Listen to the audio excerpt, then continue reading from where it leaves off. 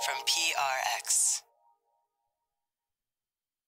Ladies and gentlemen, boys and girls, and friends beyond the binary. It's a podcaster. I'm not just leaning in. Right now, I'm leaning over.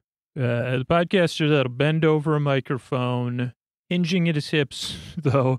I don't like, uh, I'm only laughing because I, know, I still don't know what that, I, I still say, am I hinging at my hips?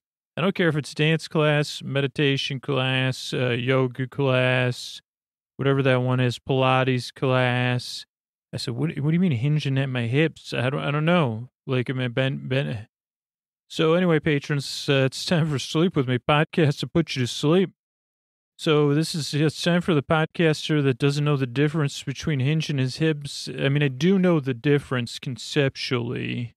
And even even when I look in a mirror, I say, well, how am I supposed to bend over and hinge my hips when I'm looking over at the mirror? Like, then I'm probably Oh, it's time for sleep with me, though. Sorry about that. It's time for sleep with me podcast to put you to sleep. And always remember to check our show notes if you need self care, if you want to support the black members of your community, our community, because Black Lives Matter, if you're looking to change, or if you want to support this podcast coming out twice a week, uh, check out our sponsors. When your hand hits the fridge tomorrow, think show notes and then look in your podcast app. Because, uh, and, and here, here's what you'll be looking at tomorrow.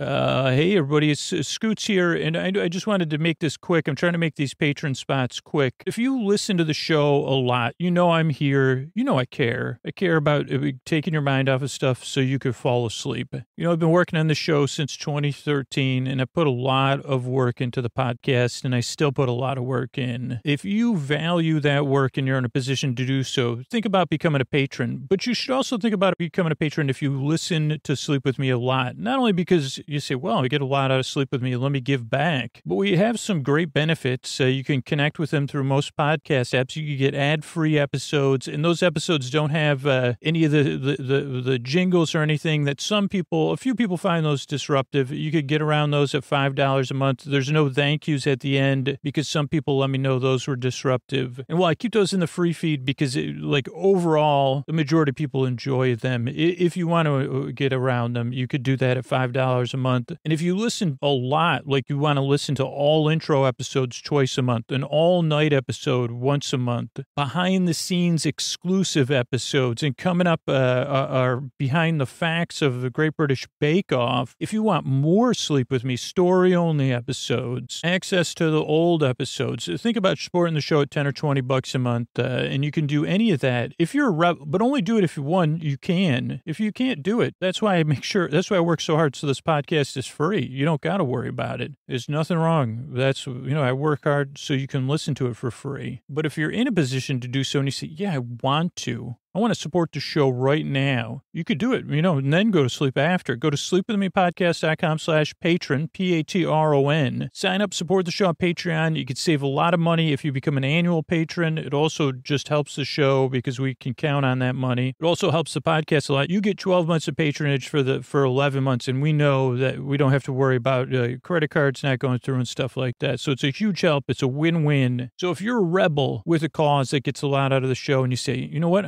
I'm I'm wild enough uh, to pay for a free podcast because I love it and I enjoy it. And I feel like I'm a part of the show. I want to support it. Go to sleepwithmepodcast.com slash patron. Thanks. All right, everybody, it's time for the Sleepy Supporter Zone. The one part of the podcast I need you to hear is where I pop my peas and, you know, uh, make noise like that. I want to thank these. Are, oh, this is where I thank the uh, uh, listeners who supported the sponsors so we get you to bring this podcast twice a week. I want to thank Peg B, who supported Grove, Rose T, who supported Native, uh, Becca, who supported Sunsoil. Oh, boy. And they shared on uh, Instagram. Uh, Peg sent Grove email. So let the sponsors know because especially like towards the end of the year, you know, we're hoping to keep these sponsors on for 2021. If you support a sponsor, try to tag them in a social media post, tag me or send them a message and let them know their uh, partnership with the show is important to you. And then I could try to thank you here on the Sleepy Supporter Zone like Peg, Rose, and Becca. Uh, the second part of Sleepy Supporter Zone is you getting the support you need. If you're having a tough time right now, there's going to be links uh, to organizations uh, you can connect with within the show notes. Uh, so reach out uh, for some extra help right now if you need it. And then, uh, you know what needs our support is our community. So please support the members of your community, our community. You know, start to, to start to be a part of the solution, to be a part of positive change, to let our neighbors know Black Lives Matter. If you're looking to change or, or you've been impacted by racism, there's going to be links to organizations that can help with that in the show notes. And I'm still recommending that a podcast I love, Appearances. Uh, please, please, please check out Appearances. It's by Sharon Mashihi, and please let Sharon know. These are the kind of audio artists we want to support and to encourage to keep putting their audio art, uh, these masterpieces, out into the world, to sharing the stories they've created because uh, it's, it's what makes life, you know, it's what makes listening to podcasts amazing and what being in the world. I, I don't know. So please check out Appearances in your podcast app of choice. Appearances is a podcast, like I've talked about. It, it, kind of it straddles the line between fiction and truth, between personal essay and uh, beautiful short story. Appearances brings to life an Iranian American family and community through the real and fantastical mental machinations, through the journey of its uh, lead character, Melanie, uh, in her, you know,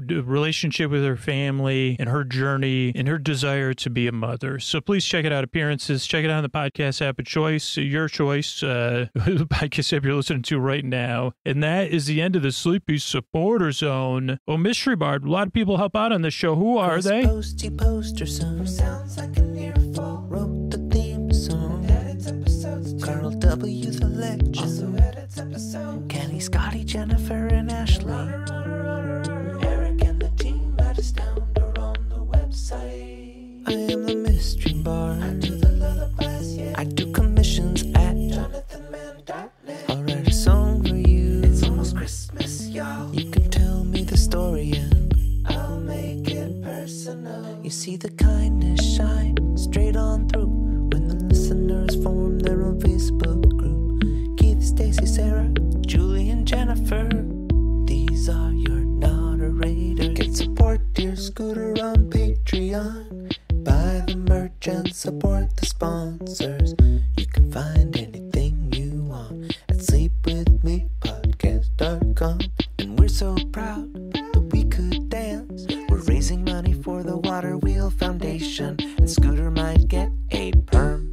Mr. Barton. Anybody wants to commission a holiday gift to, from you as a song should go to song.jonathanmann.net. I'm at Dearest Scooter on Twitter and Instagram. And don't forget, you can listen to Sleep With Me in your smart speaker if you want. Just tell it to play Sleep With Me podcast. And uh, what do you say we slow it down and get on with the show?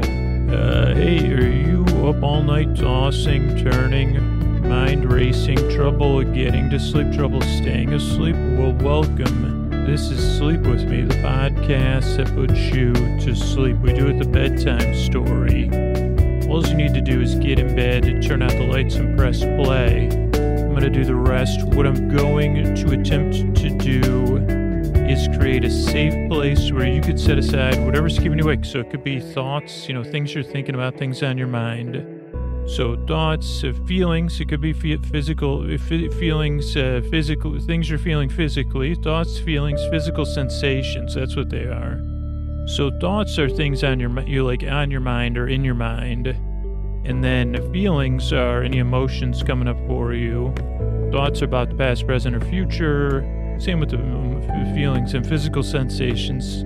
Could be something else. So changes in time, temperature, routine. Yeah, when I'm recording this, it's actually we just fell back, and that's so that's always it can throw people off. Not as much as a springing forward, and you would think that if it there was a year to get rid of all that, it would be 2020. I mean, 2020, we could use all the sun sunlight we can get, right? Uh, am I right? Uh, but you know, they they say that uh, I don't know. I said, don't most clocks reset themselves? Uh, what is the what's the hang up here? But, but I, think we even tried to pass a law in California, and they, they said, yeah, we'll do a, uh, well, we passed, a, I think, a law to make a study to not change it. To say, okay, we're going to put a task force on that. They said, what do you need? A, you need a task force to figure out? It say, just don't do it. It- Like, here's the thing: time change. Don't like uh, we, it changes on its own. Time just does does it keeps moving or does it move at all? I don't know. And uh, that I want to think about it at bedtime. Thanks, Scoots. Yeah, you're right. Uh, these are the kind of things that go through my head at bedtime. But I'm trying to speak out on your behalf uh, and say, hey, let's let's get this off of all of our collective plates. Uh, but so we did fall back. I did actually get an extra hour of sleep because of it. So the the thing would be like, you, you could do that, but just do it every. Can you do that fall back thing every single night till we get back to the like? There's a proposal. And again, no no better time than the present to test it. Let's just fall back every night until you know permanent. You know what is there? Thirty hours in a day? Thirty hours in a day? No, twenty four hours in a day. There's about thirty days in a month. Twenty. There's like twenty seven or twenty eight days in February. Though. Let's try it on February. Fall back month. Uh, we're the month where we fall back every single night, so you get an hour extra hour sleep. May throw other things off but uh, these are the kind of ideas. Oh, so sorry. It's time for Sleep With Me podcast about your sleep. What I'm going to do is I'm going to try to take your mind off of whatever's keeping you awake. It could be any of the things I listed. The way I'm going to do it is I'm going to send my voice across the deep, dark night. I'm going to use lulling, soothing, creaky, dulcet tones, pointless meanders, superfluous tangents. So I'm going to go off topic, as you've seen already early I thought I was going to be talking about whatever I was talking about in the intro, which, oh, hinging at the hips makes me, you know, like uh, time changes make my hips whinge instead of hinge. Uh, but whatever keeping me awake, I'm going to try to take your mind off of that. And a couple of things if you're new, or a couple things to know right up front. One, this is a podcast that is very different. So if you're having a tough time or you're wondering, what is this? What is going on here? What is this person? I say, yeah, no, that makes total sense this podcast is a bit different and it, it, takes a few times to get used to or to, to, get used to so much that you stop paying attention to it. So if you're skeptical or doubtful, that totally makes sense. I want to acknowledge that first because I would be if I was uh, new to this podcast. And most of your reviewers do say yeah, it takes two or three tries to get used to the fact uh, that you don't really pay attention to this podcast. So that's the first thing I think to know is like this podcast is a bit different. It's uh you don't really listen to it. You just kind of barely listen to it. You say, "Uh-huh. Uh-huh. Okay. Yeah, like uh we hinging at the hips. Kind of like uh, that's a thing. Like what it, like that's the difference between uh a Zoom Zoom yoga class and a real one. Like especially if they they say, "Well, you can turn your camera on or off." I say, "Oh, I'll turn it off." And they say, oh, "Okay, but unmute yourselves." Uh and then if the the teacher, I want to. How come no one's? Are there yoga professors? You say, well, I'm a. Are you a yoga instructor or a yoga teacher? I'm a yo. I'm a professor. I'm a professor of yoga. I mean, I, I profess. Uh, well, I guess that would be a yogi, but that's a different kind of yoga. But when the teacher says hinge at your hips, uh, if it was in Zoom class, I could say, "Oh yeah, teach. I'm totally hinging at my hips. Oh boy, my back is." Uh, stack, you know, whatever you say, like you say, stack those vertebrae and make yourself taller. That's another one I can never wrap. I, I say, okay, make myself taller. You, if I like, if I could have done that, I would have done it a long time ago. Uh, I mean, these are concepts I'm, I'm not, I'm, I'm, not making fun of. I really just struggle with. It. I say, okay, pull your head up, uh, like you're on a string. And I, I seriously, I, I try to do those kind of things, especially when the teacher's there. And then the teacher, and I have a pretty, uh, my personal boundaries extend a ways out. So then they come, like, uh, the back when you used to take classes, which for me was like 10 years ago, they'd come and they say, okay, no, no, this is a, your hips or pull your shoulders back and down. And I say, I, what, I don't know what you're taught. I don't know. what You got to put your, my shoulders are down. No, no, no just like if when a photographer says to relax and be natural, I say, okay, there's zero. Thanks for bringing that up. Now there's zero per chance, zero.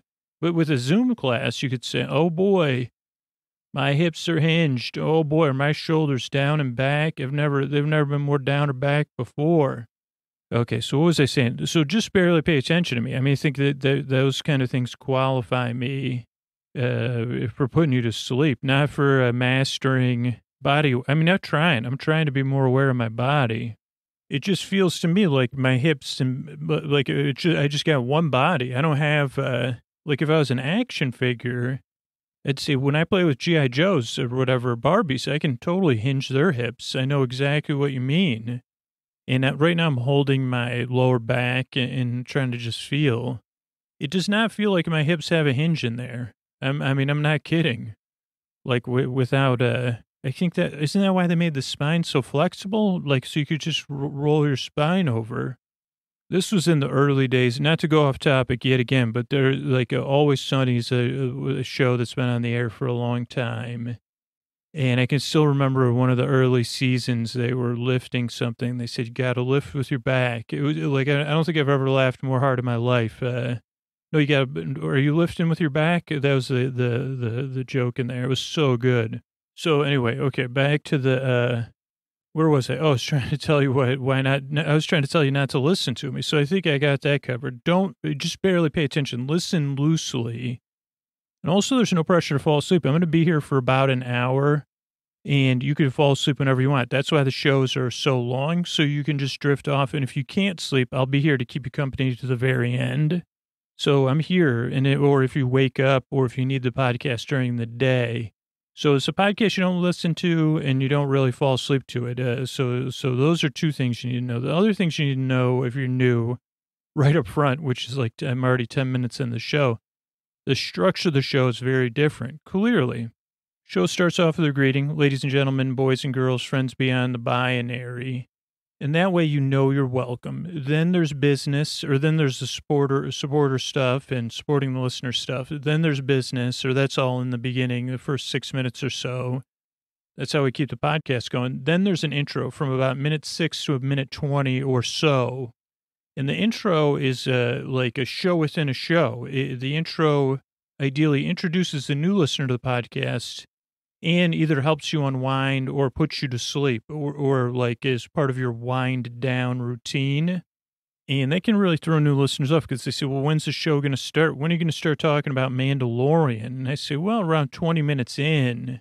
And then you might listen to that. You say, well, when is it going to get sleepy? I said, well, it kind of already, like, when's the story start? And I said, well, the idea at the beginning of the intro is for a regular listener, it's familiar because I always try to explain what the podcast is, then I go off topic. My hips do come up every six months because I'm, I'm I, I mean, I remember one of my autobiographies was going to be the boy with the boy that didn't know his hips, or the boy, I forgot what it was called, but you know, the boy, the boys who, boy whose hips never hinged, the hingeless hips. The tale of the hingeless hips. Oh boy, was that a classic tale. The hips without a hinge. The hit, and then the hips, the sequel was even better. Unhinged hips. Oh boy. And then, of course, the, the bonus content that cost extra. Unhinged hips after dark. Okay, so, uh, where was I? Oh, so uh, the intro goes on and on and on to give you some distance and help you ease you into bedtime. But you could also skip it. Like 2% of listeners start the show at 20 minutes. Then another few, I think a couple, uh, like a decent amount of patrons listen to story only episodes, which is just the story portion of the show. But for most listeners, and this isn't, you, can, as you become a regular listener, you can kind of decide, or it can change. People's relationship with the show changes all the time. But you can kind of see how it goes because uh, the, the, the, uh, the image I have in my mind is that you're easing into bedtime. You know, you're doing something, stretching or relaxing or doodling or petting your pets, maybe brushing your hair. I don't know if you're doing any exfoliating, but you could. I mean, it, it, like exfoliation creates uh, noise, I think. Because uh, what's mic, what's micro microderm? Is that a thing? Or what about that? Uh, I saw this the other day my daughter got one. I, th- I can't remember what material it was made out of, but it's like some sort of uh, like a granite roller, or maybe it's made out of some other material that you put in the fridge or the freezer. Maybe you're doing some granite rolling or foam rolling. That's what I like to do. Oh boy, do I love foam roll. I mean, I don't love foam rolling, but I do practice it. So uh, whatever the the podcast is part, supposed to be part of that that eases you into bedtime, becomes part of your bedtime routine gives you some distance between the daytime and the nighttime so that, uh, you know, that, that you can wind out. Cause I know for me, it's never been easy falling asleep. So it, it like, I don't want it to be a rigmarole. I take, ideally I take the rigmarole out of it.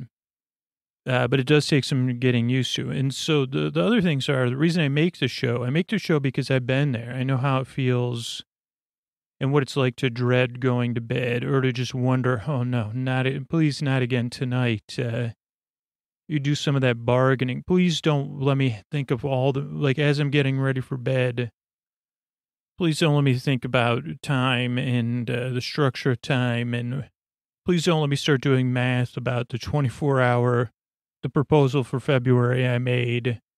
And if that would be possible to fall back every single night, uh, well, that seems reasonable for 2020, or I guess that would be 2021. What if, how about that? We just keep, what if we do redo 2020s? Anybody propose that yet? I mean, for me, it's November 2nd. So, uh, here in the U.S. So, so I mean, uh, like when you're listening to this, uh, hope I, my man, I hope you're, uh, hope you're great. Uh, but, uh, you say, what, about a redo? We don't think about from 2020's perspective. 2020 say, can't get? You going to give it over 2021? I love this idea. Fall back every day, 2020.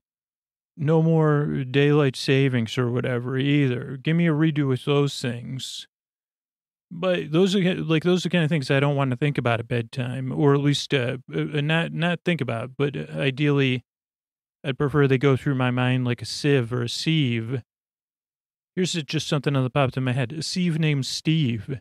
Have I ever said that on the show? If I had to name a sieve, I would name my sieve Steve. Uh, if I had a sieve, I would name it Kiv, I guess. Uh, yeah, Kiv, short for Kavina. So, um, so, so I don't know. I like, uh, I, I'm here to take your mind off stuff and bring some levity to bedtime, ideally. Uh, though, uh, yeah, and take your mind off stuff. I guess like to put a little fallback in that you say, well, at least I can fall back into bed with Scoots. Uh, and he's going to talk about stuff tonight. He's going to talk about the Mandalorian. He's going to mispronounce Timothy Olyphant's name. I thought he would mispronounce Oliphant or Oliphant, but instead he mispronounced Timothy. Timothy. And uh, so, so the intro goes on and on and on so that you could fall asleep. Then there's the story. Tonight I'll be talking about uh, episode nine or chapter nine of The Mandalorian, The Marshal. And if you haven't seen the show or you might, you know, don't worry. This will be like a bedtime story about, uh, I don't like. I guess it, like I think it, like it would have probably references to Cesar Millan in it because there was a lot of animal training and treat motivation, I think, going on in this show. So we'll talk about that, and we'll have some thank yous. So that's a structure show. It's a podcast you don't really need to listen to or pay attention to. I make the show because I've been there, but also because you deserve a good night's sleep. And if you can get a good night's sleep, you're going to be in a better place to live your life a little bit more fully. Or just not to be grouchy. Like I get grouchy. Holy mackerel, do I get grouchy? And, you know, the days when I'm not grouchy, my life's a little bit better, and the people I encounter, their lives are a little bit better. So that's what I hope I can provide. Now, like I said, this podcast doesn't work for everybody. It's a little bit different. So just give it a few tries and see how it goes. But I'm glad you're here. I really, really work hard on the show. I really, really uh, want to help you fall asleep. I appreciate you coming by.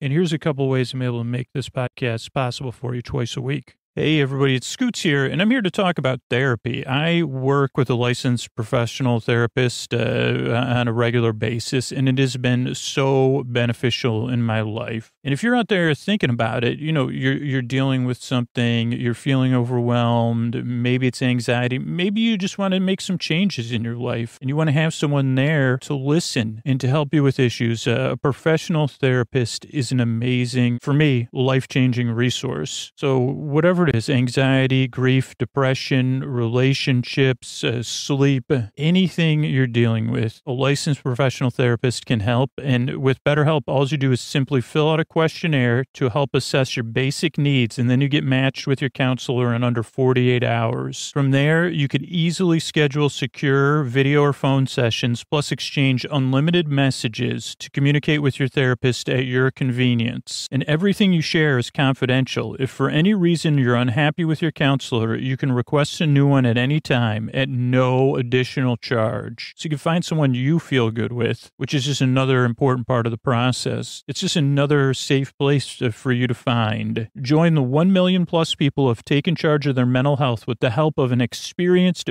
BetterHelp counselor. BetterHelp is an affordable option for our listeners and get 10% off your first month with the discount code SLEEP with me. That's one word, sleep with me. Get started today at B E T T E R H E L P dot com. That's betterhelp.com slash sleep with me. Talk to a therapist online and get help. Betterhelp.com slash sleep with me for 10% off your first month. Thanks, everybody. All right, everybody. I don't know if it was Don Henley or somebody else is saying, but we're back in the Mando life again. Was that Don? I think it was some, Steve Winwood. Maybe it was uh, singing that song. Both uh, Hunter and uh, the, the the hunted. This is uh, chapter nine, the Marshal. I actually started the wrong episode, uh, so I said Star Wars open. Then I heard beep beep beep, and I said, "Oh wait, that's episode one, not episode nine. Uh, precisely Dexter voiceover, Way of the Mandalore.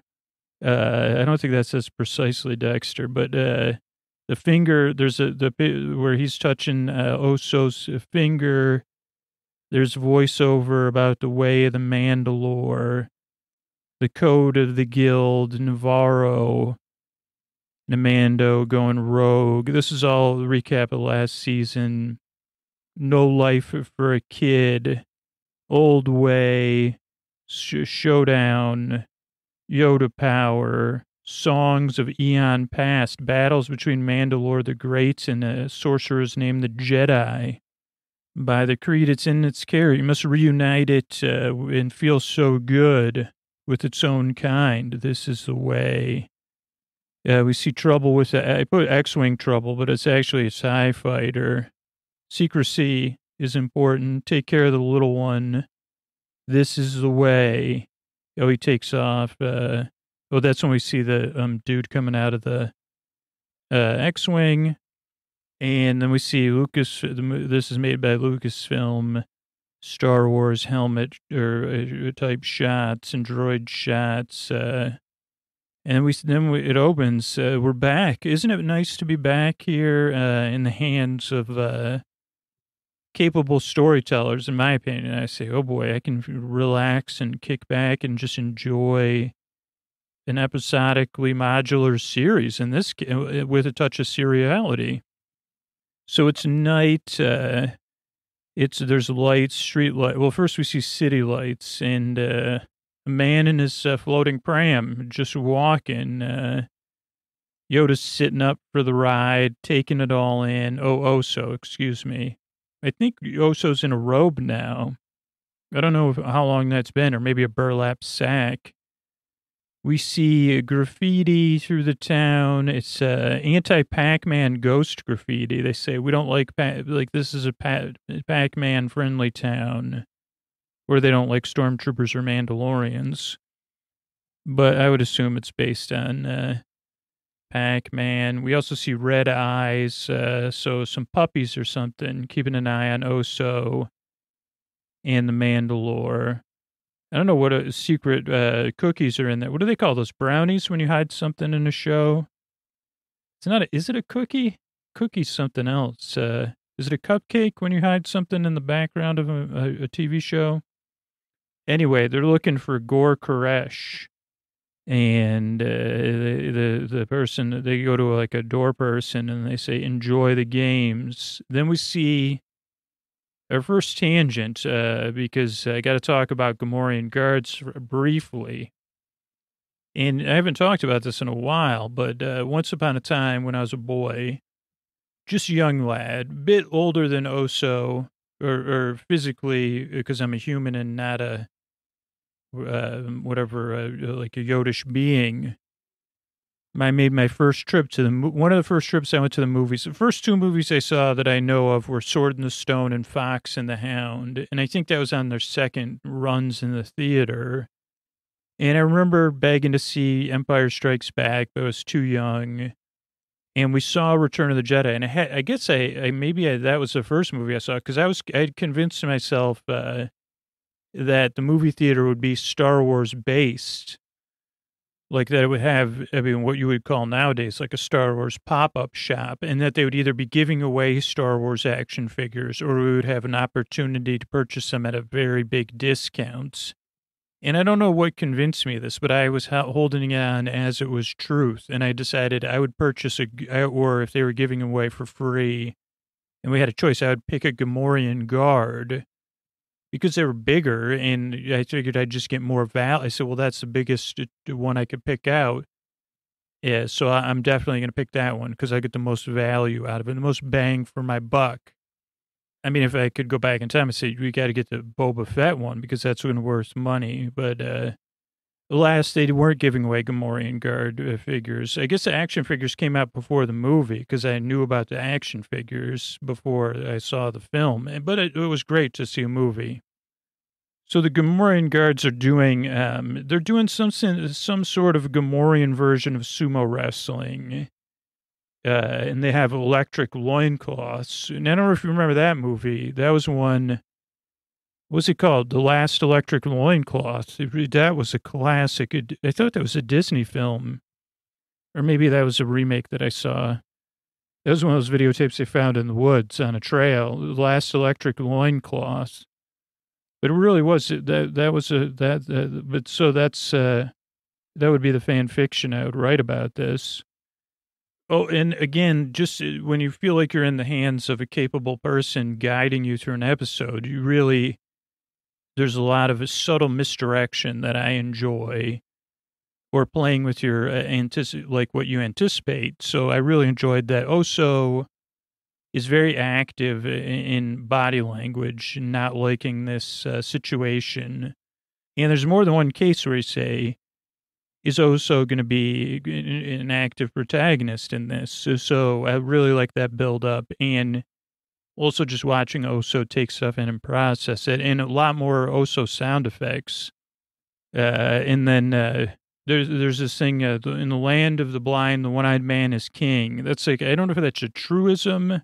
That's something my dad used to tell me when I'd ask, I'd say, well, can we get some action figures? He'd say, in the land of the blind, the one-eyed man is king. And I'd, I'd sit there like I'd say, "Can- "Okay, can we go? Can we get? Can we go? Can I get an action figure?" But in this one, yeah. So there's this uh, person uh, that's Gor Koresh. uh, Oso's or Mando's meeting up with him. What's up with the kid? Where I go, he goes. Uh, and he says, "What's up?" I, I say, "I got to track down some Mandalorians." He says, "It's uncouth to talk business right away." Uh, when and uh, then he says, "Are you a gambling man?" And the dude says, "Do I look like I'm wearing shiny armor of a high-priced metal that's known for its armor-based properties?" Uh, so wouldn't that give you? Isn't that your answer there? I'm covered in armor, like. Uh, and he says, "So are you a gambling man?" And he says, "Not when it can be avoided." And the guy says, "Yeah, Beskar. What about? I like that Beskar armor." Uh, and uh, the Mando says, "Well, I don't leave anything to chance." And then the uh, Gor Koresh says, uh, uh, I don't know, Gor Koresh played by John Tesh. I don't think so, but uh, I think it's played. I think played by. Oh, I can't remember because we saw. Uh, whose name did we see in the credits? I said, "Is that who? Who did that? Who did they play?" I'll think of it, but uh, nor do I. Uh, thanks for caring. Uh, hidden hives to harvest, uh, Hester value. I don't know what any of that says. Thanks for coming by. Uh, but basically, what happens is uh, he says uh, they say you you you you you you uh, we're we're gonna take your electric loin cloth. Oh, also Oso gets in his uh, seat when he knows there's trouble. Hidden hives to harvest. Does somebody say that? Thought you weren't a gambler. Let's see. I'm not. Oh, the, I guess I'm ahead of myself, or I'm behind. Oh, he basically says the best Beskar's price is rising, and so I'm gonna um ta take your armor from you. Hidden hives to harvest. I'm just trying to see if that's something I imagined. Everybody, everybody out. They say when he says I don't gamble. Thanks for coming to me. Oh yeah, I've been having to go to your hidden hives to harvest because I love uh, Beskar steel because I can, you know, it's uh, whatever. It's good for uh, hedging or whatever they do. Harvest your precious tiny shells. I'm fond of it, so I'll take it now. And Mandalorian, you know, he doesn't take the stuff. He goes, "Tell me where, where where the Mandalorian you know about is," and I'll walk out. We'll all walk out of here. Oso hides, uh, and he basically there's they're no they're not, they can't match up against uh, like electric loincloths or not. Mandalorian says, "Of course I have an electric loincloth because uh, you know what do you think powers my suits?" Uh, so uh, they, they, I don't know, they, they, they, it's just a, just interesting sequence, the electric loincloths. A couple other people have like electric shoulder plates and stuff, but no match for, uh, no match for it, no match for the Beskar. The character runs off, uh, he's wearing a cummerbund and a tuxedo jacket. And Mandalore, Mandal, the Mandalorian sh- hangs him up, uh, Djarin. And he says, uh, guys on Tatooine, promise me you're going to uh, let me walk away. And he goes, I promise you I'll walk away. Yeah, where's the Mandalorian? Tatooine. You swear by that? Uh, yeah, I do. Uh, that's all only Mando I know is on Tatooine. Mandalorian goes, I was just there, so I didn't see any Mandalorian. He goes, It's good, it's good, man. City of Mos Pelgo. I swear by the Gothra. And Mando says, uh, Tatooine it is. Then he turns out the lights, and uh, uh, Gor Koresh is kissed by puppies. Uh, Oso, you know, sees that. And then we have the opening of The Mandalorian, Chapter 9, The Marshal. Then we see the um whatever that the ship's called. The Razor Crest is in space with music. There's a planet. There's canyons. There's Tuskens. Uh, I already forgot what their their creatures are called. They're beasts of burden, but I'll remember that too. Uh, we see planes. We see a city. We see, and then we find we see a Sedaris. Uh, top one of the top two Sedaris on the planet. You know, tough to choose between two, you know uh, Amy and David, but uh, on a on an episode of The Mandalorian, I'll take Amy. Uh, you know, at writing a short story about uh, Amy Sedaris's time on the Ma- uh, Mandalorian. Hmm, that, I'd say I'd take David probably, or I'd take both of them writing about it separately. He lands droids. You go. He doesn't like droids. Have at it. Uh, so he likes droids now. Guess a lot has changed since your last. Oh, there he is. Thank the force. Oh, so, oh, so cute. Give me that baby. Come here, you little womp rat. Uh, and also make some sound effects. Looks like it remembers me. How much you want it? Just kidding. Not really. Uh, if this thing ever divides or buds, I'll play, pay for the offspring. And just don't feed it after midnight. Then the droids are having an issue. There's just like a little comedy sequence, you know, give us a little lightheartedness. Here on business, need your help. Uh, business you shall have. You want me to babysit? No, I'm quested to bring this back to its kind. Can't help you there. Never seen any one of these, uh, and I've seen a lot. Uh, I need a Mandalorian, uh, uh, another of my kind. They'll help me through the coverts. She goes, I never see you're the only Mando I know. What about Mos Pelgo? Oh boy, haven't heard about that one. I thought it was gone. Wiped out by bandits. Uh, when the Empire fell, it was a free for all. That's why I still stay in the city walls. And she brings up, she goes, R5, get over here with the map. Uh, no, take your time. More comedy. Uh, can't get good help. I don't even know who to, it's just really good. I mean, this show's so worth watching if you're not watching it. Uh, so she shows him a map, uh, the, the, like, uh, shows him where Mospel goes, could be, or once was. Uh, that's where it was before. Uh, uh, take your time. Oh, she's talking to R5. What was there? He goes, Did you guys that speeder bike? Uh, she goes, Yeah. Then we go, he takes a jump off a sand dune. Oso's on the side, loving the ride. You know, uh, the desert air and Oso's baby hair. We see some sand people, Mando, uh, they share a fire, they talk, they have dinner together, and they're using their combination of language and sign language and you know, sharing a meal. Oso's sitting there too. Then we have more driving through the desert. We see, uh, I said, is that, do we see womp rats at some points? Uh, there's more driving. And then Mando rolls into town when Mando comes to town, there's that's another song. Who sang that? When Mando comes to town.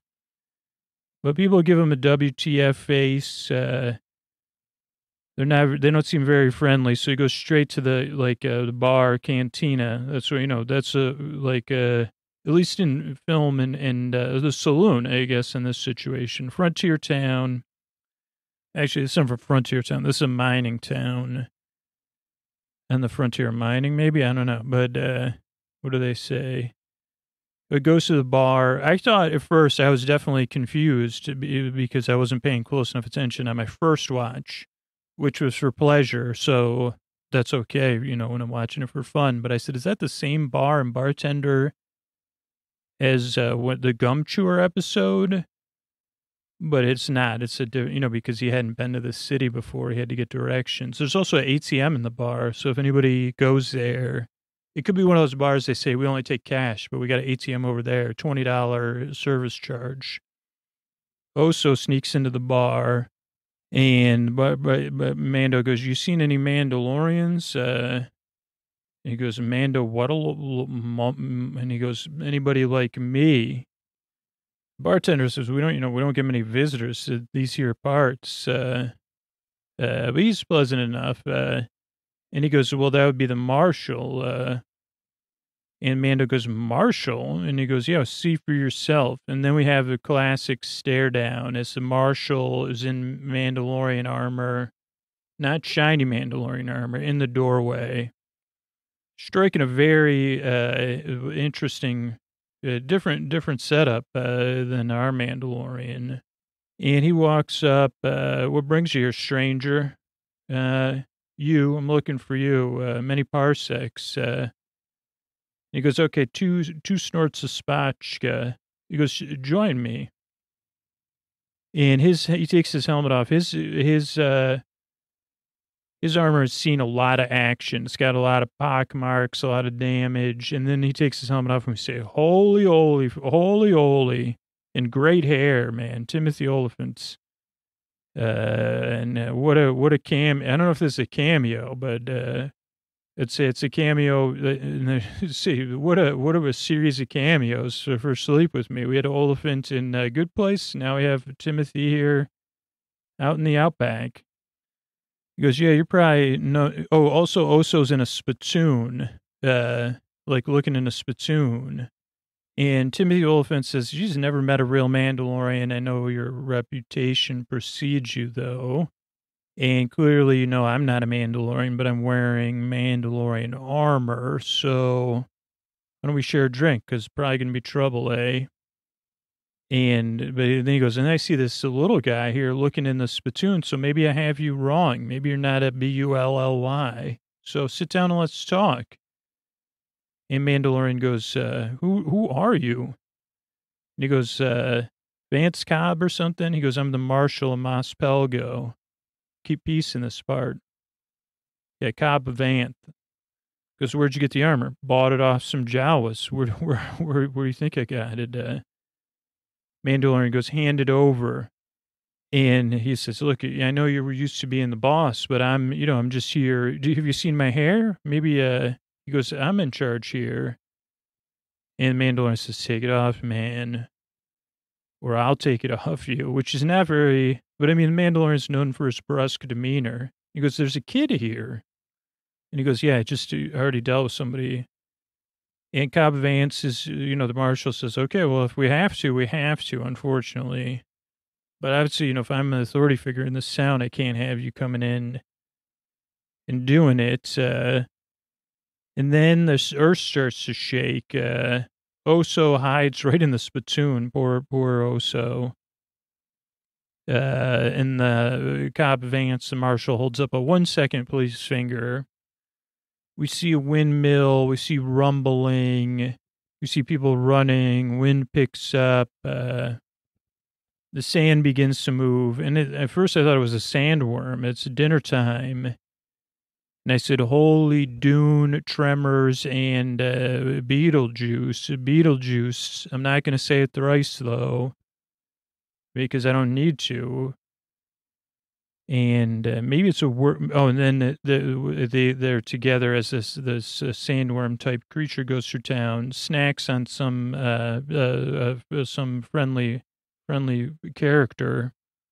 Just a kiss. And then he says, maybe we could work something out. And the Mando says, "Work something out. How?" And he says, "Well, this thing's too much for me to deal to to to to, to deal with. It's a um, krayt dragon." And uh, he goes, "Maybe if you help me, uh, we can make a deal. You know, uh, you help me, I give you the armor." And Mando says, "Okay, uh, fair enough. Well, that's a deal." He goes, "So, so what do we?" And he goes, "I know where it lives." Uh, I also said, Cobb Vance, can you actually, like, I realize, like, uh, can you keep that helmet on or keep your helmet with you at least? I mean, I know you got that square jaw and the beautiful hair, but can you at least, uh, can you please, can you please, uh, can you? Oh, also, once upon a time in, um, once upon a time in Hollywood, that was another, yet another time. It was, oh, I said, oh, holy, holy. So town cleans up uh, and they head off into the desert, the two of them. Mando on his uh, bike and Cobb Vance on like a pod racer type vehicle. And they're talking. They say, let's do some driving and uh, let's get some exposition in while we drive. And the Mando says, it uh, sounds exactly what I like, man. And Cobb Vance, and again, I like, because uh, I missed the exposition earlier the first time I watched. So tell, don't tell me once how you're going to do things. Tell me twice. So Cobb Vance does, but in more detail. He says, okay, so the Death Star, second Death Star, right? Mando goes bye bye. Everybody's partying. Bar was packed. Uh, fireworks. We're watching on the news. Uh, but he goes, there's a vacuum, power vacuum. And so the mining collective comes in and uh, he, he says, one thing I got to say, this is my favorite bartender. I got to save my bartender. Not knowing that people in the mining collective don't know how to make drinks, so they're going to need a bartender anyway. But I guess at least initially, he says they got to real they they probably had to realize it. So he does say, okay, I got to make them appreciate that they need a bartender. So he saves the bartender. He says, I took what I could. Uh, and uh, I was saved.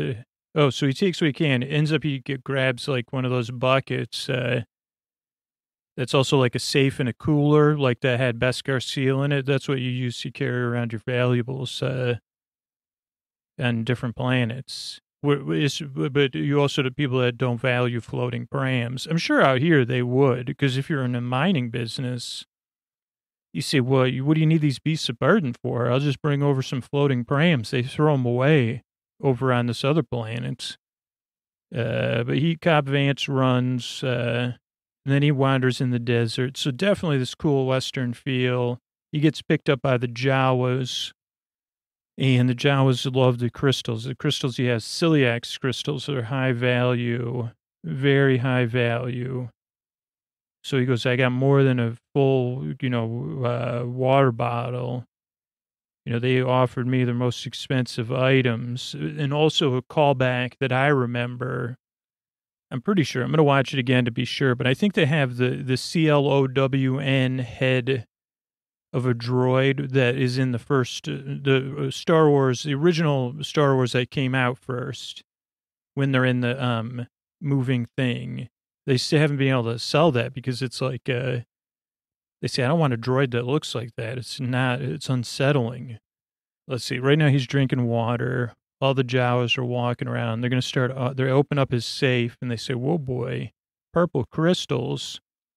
This stuff's great. So they offer him his finest wares. First, like a va- look, look, a Dyson vacuum. Then, uh, like R2 type units. Then, I'm pretty sure, let's see, this is coming up next. He sees the Beskar armor, or the uh, Mandalorian armor. Yeah, there it is. It definitely is. I don't normally notice these cookies, but that's definitely the CLOW android from the first movie. Never liked that thing. Ne- never will. Uh, talk about holy Clarabelle, right? Uh, or what's that sl- slappy from the uh, bumps of uh, when your uh, your hair stands up books. Okay, so where are we? So then he goes back to deal with the mine. He gets the armor, goes back to deal with the mining collective. Uh, Marshall's back in town. Shows down with them.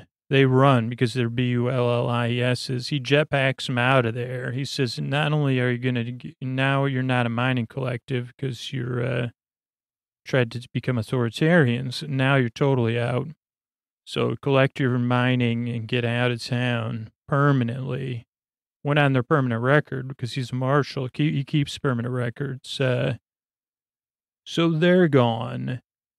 Uh, then they're in the desert canyon. Now we're back to the present. Enough exposition, they say.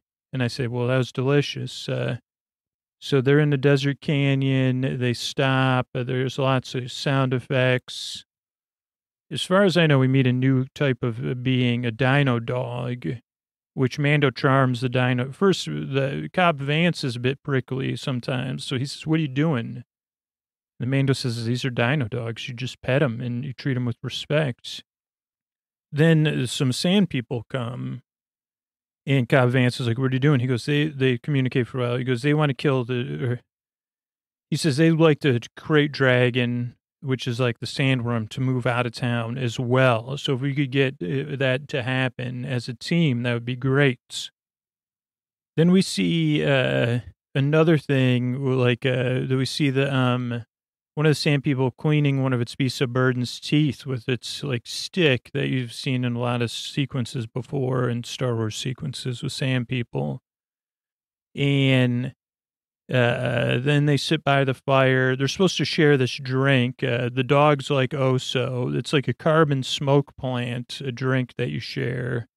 And Cobb Vance is stubborn, so he says, "I'm not drinking this. So, you know, I don't, I don't abide by sand people." Uh, and Mandalorian says, You're the one who's stolen all their water. And so he raises his voice. Mando says, Talk with your uh, inside out voice, you know, campfire voice, man. And they start, uh, well, Cobb Vance starts arguing. So then the uh, Sand people are arguing, you know, strongly reacting to his argument. Uh, so Mando waves the fire of peace. Uh, and he gives him a coach talk, uh, like you're talking to just like a coach, like uh, in a movie. He says, Everybody sit down and we're going to talk about this. Uh, and we're going to talk about it, and we're going to talk about it in a way that moves forward. We, either we work together, either we work together, or we work in opposition. And it's going to be a lot of easier to work together as a team and do this as we have we have a shared goal. So put your hands in here, and we'll ride out uh, to the desert. Then it's morning, and they're on the um the the horned horned beasts of burden. Which uh, don't worry, at some point I remember what they're called. They go through the deserts. One of them, a couple of them go up to the cavern. They leave. Uh, they leave like a couple of energy bars at the entrance to the cav- cave. And they say, yeah, the sand people have been feeding this thing more and more over the years, like thousands of years, or I think, or hundreds of years. Uh, so that's so they sleep longer. Uh, like like the long, more you feed it, the so you give it a uh, offering of a ba- oh bantha bantha bars. He says you give it five bantha bars, and then Vance Cobb Cobb Vance says, "What are the bantha bars made of? Banthas?" He goes, "No, bantha, uh, fi- you know bantha, ba- you know bantha pies." And Cobb Vance says, "The Krayt Dragon eats bantha pies." And then there's a long sequence where they go through and they say, "Well, the bantha." has like 44 stomachs. It consumes its concentrated nutrients to the bantha to the to us to the bantha. It's waste, but the bantha actually con- consists on things we would. It's just a weird thing. Bantha's made up. You know, it's a desert dwelling creature. And then Cobb says, so in that case, what does a bantha eat? And uh, Mando says, waste. You know, and he says, wait a. And he goes, yeah, it's uh, you could the desert's not a totally closed ecosystem. Also, it's it had a sarlacc before, which brings up like the idea of like last time we saw Cobb Vance's armor was in a sarlacc pit. So they do that Bantha Bar thing. Then there's a Wookiee call from the. There's a lot from the that Obi Wan did Sandperson runs, but they don't run fast enough. And the uh, Great Dra- also watches too and makes sound effects. But the Great Dragon says, "Enough bantha bars. Uh, I want to lick a sand person. and it does that. Uh, and they go, "Oh snap, man! Any fresh ideas?" And uh, we get just get a bare sense of the Great Dragon uh, size. Uh, uh, Oso is oh so cute in this man. Oh, it hi, Oso hides, pops its head up. Uh, then they have a meeting with the Tuskens. Uh, and they say, okay, let's bring it together. Let's cross it. Let's swirl it around. They have a whole model set up. Uh, Cobb says, that's it's not that big. And man, he's he's Cobb explaining things. Uh, and you go like, uh, uh, Mando says, they know what they're talking about, man. Uh, and so they say, well, how are we going to do this? They're trying to plot it out with a model. Cut it, pat it, mark it with a B, tickle its belly is eventually what the, they come to, which is a nice way to solve a problem. They say, like, uh, how are we going to do this? We don't have a way to do this. Uh, Mando shares the idea in Tusken. Then there's more rocks. Uh, or there, I don't think the I don't know if the rocks are um, like mini acorns. And the Cobb says, Where are they getting more people? He goes, Your village, dude. He goes, You want to do this. So then they drive back, which is a strange, long, non talking sequence. So I don't know if they cut the uh, dialogue or, but it's like about four seconds. I said, That's a long four seconds. Uh, then the town, uh, they have a town meeting. Uh, town town will listen to reason. They respect you, Mando says. So go into that meeting and give it everything you got, uh, kid. And he says, we're equal. We're, you know, and then he's this. So then he says, this is a Mandalorian. You, you ever heard of him? Yeah, we heard the rumors about him. You know, they're, they, they're not easy to deal with. And Cobb goes, yeah, they're good at stuff. Uh, and he goes, see, this one's got a problem. I got his armor and by law, I got to give it back to him. So I worked a deal, though. I've got a problem. Great Dragon. And then he goes, not only is that dealing with the armor, like our, our mining stuff, he goes, there's a school in our town, you know. And he goes, we can't, we got to protect the school. That gets everybody on board. Vote Cobb 20, you know, 30, 34 or whatever. Uh, he goes, a Mandalorian's going to help us uh, in exchange if I give the armor back to him, which just seems like a fair deal. Everybody says, well, that's good. The bartender goes, perfect. Uh, bar tab paid up. And Cobb says, yeah, we need help. Uh, he goes, we need all you and all the sand people. And then the people have, they, they, they you know, they have their own uh, the, the you know ideas about sand people that aren't based in fact, uh, more based in feelings. So the Mando makes a speech. Uh, goes, yeah, you got your differences, but this we all have something in common. Uh, haven't heard this idea of common enemy? We got a common enemy, Great Dragon, so we can put aside our differences and work together. He goes, also, they keep their word. We made a deal, and the deal's going to be good. So uh, we got to leave it its carcass and ichor or whatever. And uh, they said it'll be peace unless you start trouble. That's what they say. So everybody nods. And then we have the, um, they say, oh, then Mando and uh, Vance meet together. Okay, joining forces are our only hope. Our only hope is when, you know, I don't know if they have to say that in all Star Wars things like another fine mess you got me into. But then the sand people arrive on a, a, a, a um, caravan of banthas, and uh, they everybody starts loading up. Uh, there's big music, lots of staring from the townspeople. Somebody does say we could use it if only we could had more floating prams. Uh, we could get there. Also, I, I wanted to say, like, if you watch this, watch it. Look at a, ban- a bantha face. I have resting bantha face. Uh, that's the exact way my face looks 99% of the time. And this is not a joke. That's my normal look, is the exact look on a bantha's face. So I don't even have resting bantha face. I have 24 7 bantha face.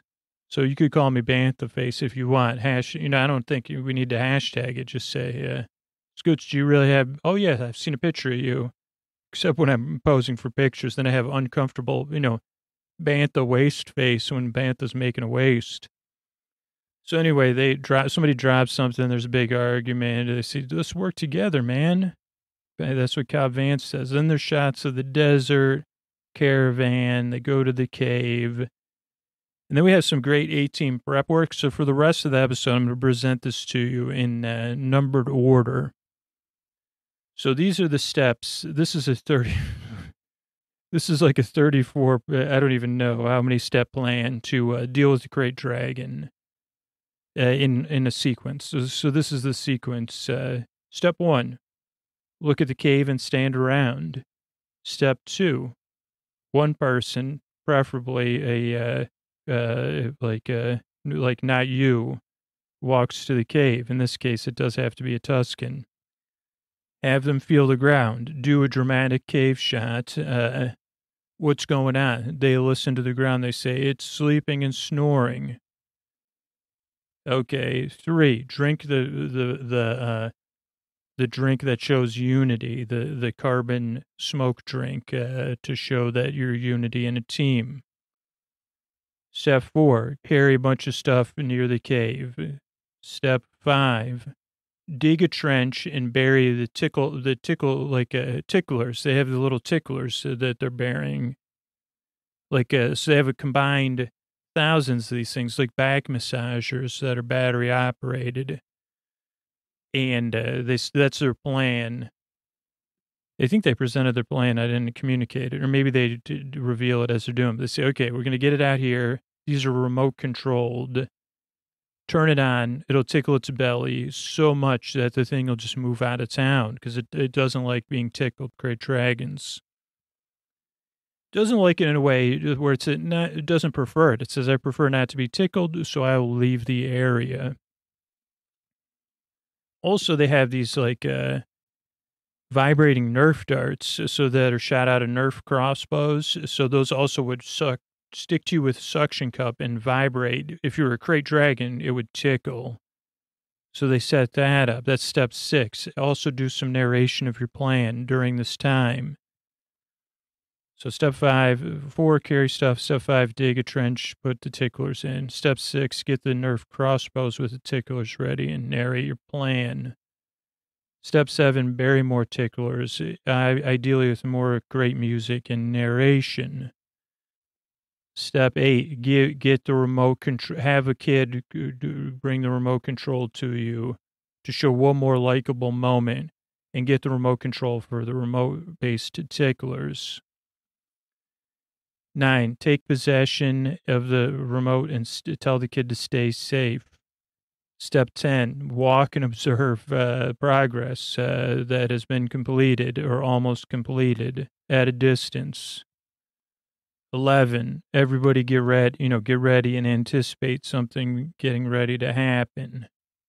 Step 12, send three people this time to walk towards the cave. Uh, ideally, you know, not from your party, as everybody would think. Uh, but these the the uh, the uh, not the banthas, the uh, Tuskens are are very are much more brave. Plus, they can do the call.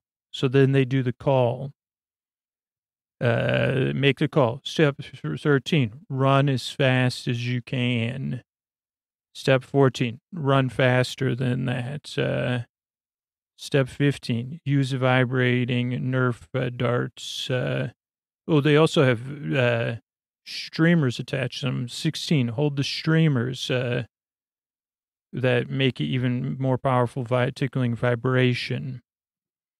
Step uh, 17, watch. Uh, you didn't overwhelm it with tickling, so the uh, great dragon suspects something and starts to retreat.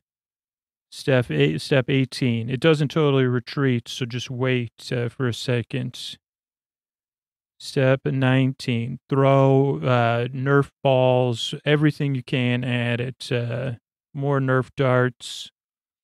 Uh, also in step 19, then more air, run, throw more stuff, uh, uh, shoot more Nerf darts, uh, wait with the, the, the remote control because we only have one shot. Uh, step 20, you've made it. You've gotten the crates attract attention again. Uh, shoot more Nerf darts uh, and hold on to them and try to pull them so they're getting the most tickling. Step 21, never mind, run away again. Step 22, the great dragon disappears and uh, like uh, the bad news is when it hides, uh, it comes back out and it can it has a slime. It has ability to slime people and cover you in gross, gross slime. Step twenty three. I can't read. It looks like it says now, but that can't be it. And uh, now wind. So let's see what happens. So they're getting slimed right now. Oh no, it didn't hide yet. It just slimed the people. Oh no, yeah. So I'm ahead of it. So it doesn't go and hide. So it slimes them. Then they try the ticklers. But the Great Dragon just happened to be moving when they launched the ticklers. So that says now. Then there's wind from so much vibration of ticklers, but uh, the Great Dragon goes under the ground. Oh dear. Uh, because now the Great Dragon takes the high ground and starts sliming everybody from above. Step 24C, somebody say womp rats, or we're getting, we're caught like womp rats. Step 25, heroes, put on your helmets and fly using the jetpacks while Oso watches. Also, if you have any hero music, play it now.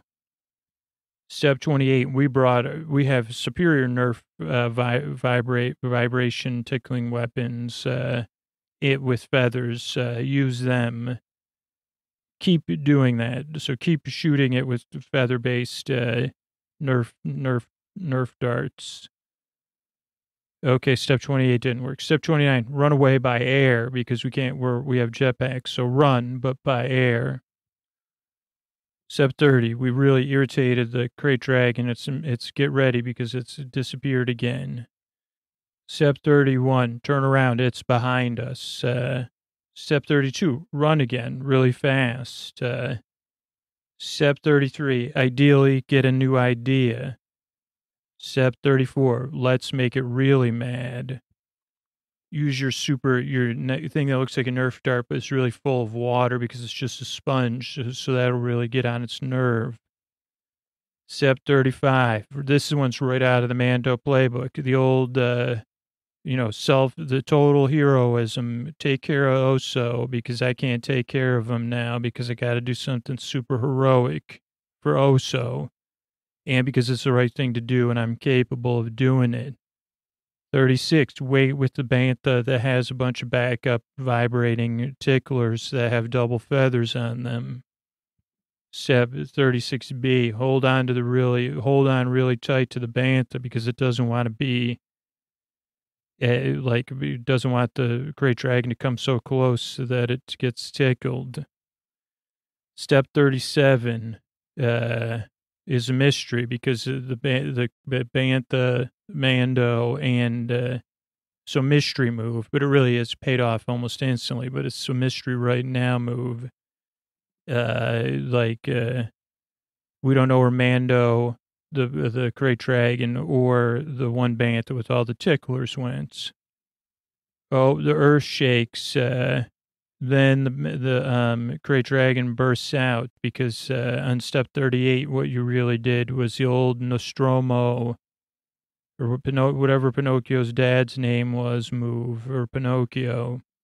into the belly of the whale. Scoots has probably used that uh, one- like five or six times in his stories too. Also, do the electric slide with the ticklers on the inside of the great dragon. That'll tickle it twice as much because crate, crate dragons have double the nerve, like uh, nerve endings on the inside.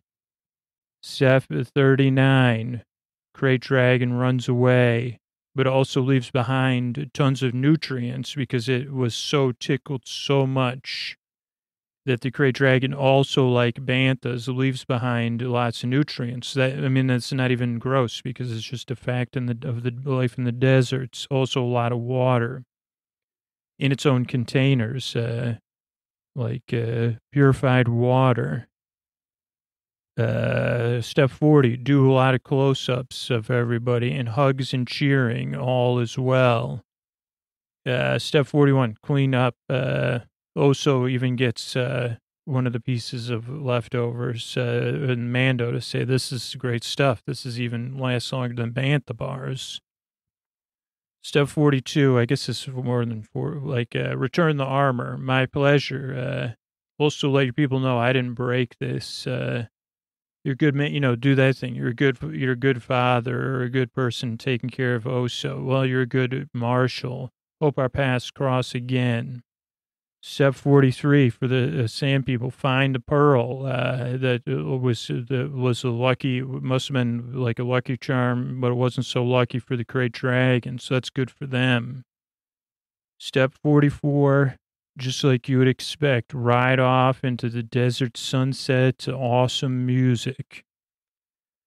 And that ends. Oh no! Then that ends the episode. Sunsets. I sorry, I forgot to the main part. That would have been good. Ride off into the sunsets uh, or sunrises, because there's two suns or moons on the planet they're on. Step forty-five: Be viewed by a mystery figure.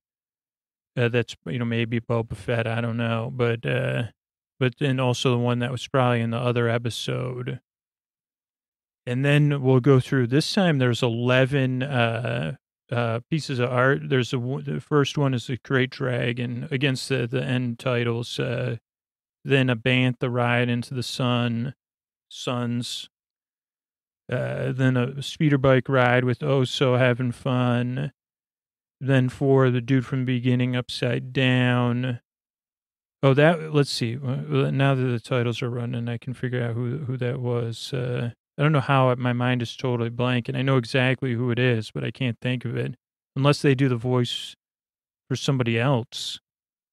Uh, and then I'll go to there's a speeder. Oh, they're holding hands. Uh, my, where am I? Pedro Pascal. Oh, John Leguizamo. Yeah, sorry, John. Uh, I'm, I'm, that's terrible. Okay, so the dude upside down then uh, Boom Sheriff, uh, then the dogs in the canyon, then Oso playing with a womp rat. Uh, then uh, uh, art eight is uh, fireside chats.